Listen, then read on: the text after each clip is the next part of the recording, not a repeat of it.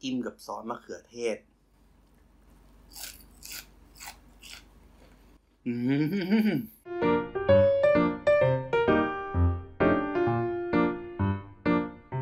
สวัสดีครับทุกคน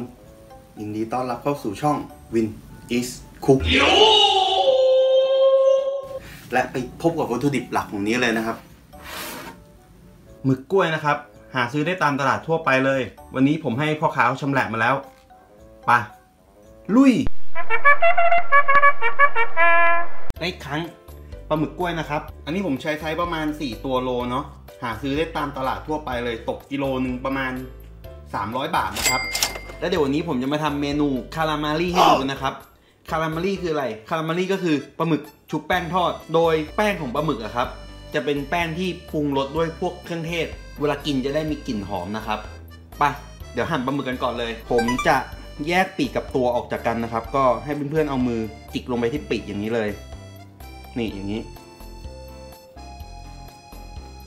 นี่แยกส่วนนะครับ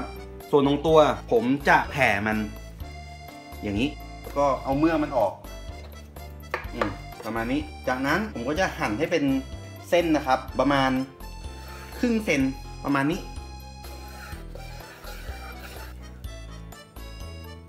นี่นะครับประมาณนี้ แล้วต่อไปผมจะหมักนะครับพริกไทยหนึ่งช้อนชา เกลือครึ่งช้อนชานะครับ ใส่ลงไป กระเทียมบดสองกลีบนะครับ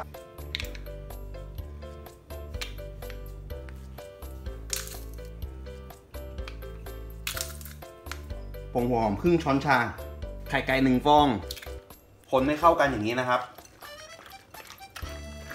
หมักเอาไว้ครึ่งชั่วโมง โอเค ต่อไปแป้งชุบทอดนะครับ แป้งอเนกประสงค์หนึ่งถ้วยพริกไทย หนึ่งช้อนโต๊ะ เกลือหนึ่งช้อนชา ผงหอมหนึ่งช้อนโต๊ะ ผงกระเทียมหนึ่งช้อนโต๊ะ ผงรากผักชีหนึ่งช้อนโต๊ะ คนแป้งให้เข้ากัน น้ำมันผมวอร์มไว้ได้ครับประมาณ 10 นาทีแล้วนะครับ วิธีการเช็คก็คือให้ใช้ตะเกียบไม้อย่างนี้ จุ่มลงไปถ้ามันขึ้นฟองแบบนี้แสดงว่าพร้อมทอดแล้วนะครับ ปลาหมึกที่เราหมักเอาไว้ลงไปคลุกในแป้งอย่างนี้ ก่อนจะทอดทุกครั้งนะครับสะบัดแป้งส่วนเกินออกให้หมดอย่างนี้ แล้วก็ลงไปทอดเลย ทอดหนึ่งนาทีนะครับ อย่าเกินกว่านี้เนาะเดี๋ยวมันจะกระด้างเกินไป โอเคประมาณนี้นะครับ สีก็จะสวยๆอย่างนี้เลย เอาขึ้นเลยนะฮะแล้วก็มาพักไว้อย่างนี้ เศษแป้งถ้าไม่ออกมันจะทำให้ของทอดครั้งต่อไปมันไหม้นะครับ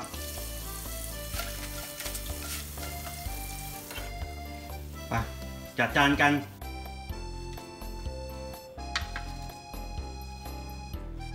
เสร็จ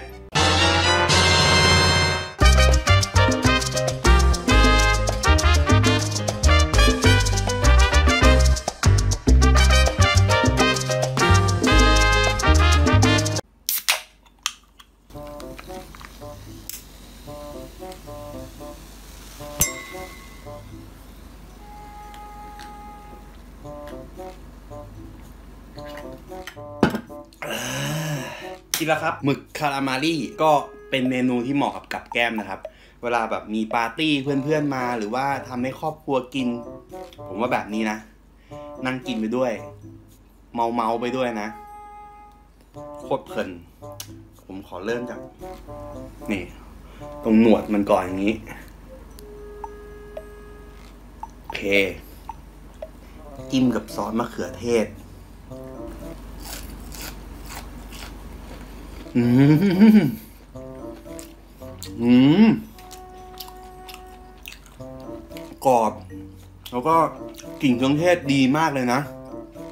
อืมอืมชนะ อันนี้ ต่อไป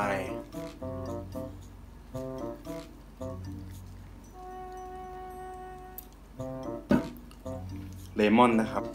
นี่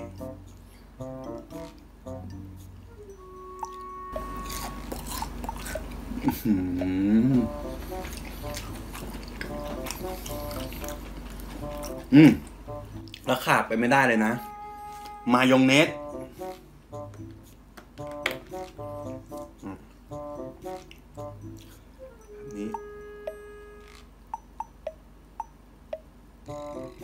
อื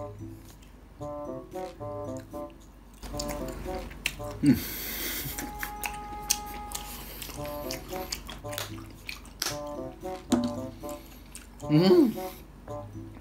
ขอสักชิ้นหนึ่งอืม